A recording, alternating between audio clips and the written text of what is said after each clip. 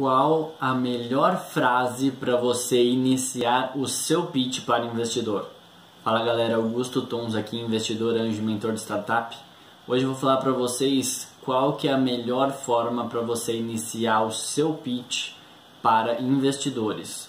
A primeira frase que você precisa dizer é o seu value proposition. O que, que é o value proposition? É a proposição de valor da sua empresa, do seu produto.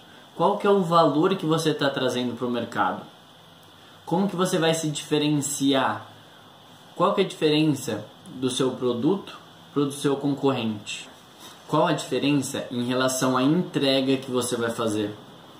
Se o competidor A entrega A, B, C e D e você entrega A, B, C, D, E e F, você entrega o valor completo e este valor você precisa compilar e consolidar em uma frase.